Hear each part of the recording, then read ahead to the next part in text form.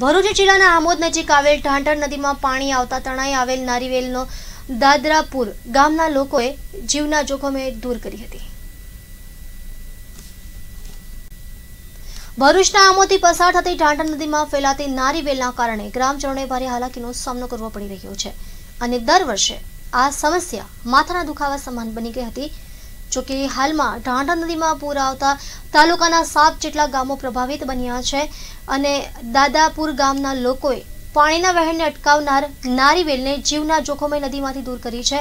જોકે દર વખતે આમોદ તાલુકાના જૂના દાદાપુર, નવા દાદાપુર, નવાવાડિયા, જૂનાવાડિયા, કાકડિયા, પુરશા, કોબલા ગામોને ઢાંઢર નદીમાં ઉગી નીકળેલ નારીવેલના કારણે પૂરનો સામનો કરવો પડી રહ્યો છે.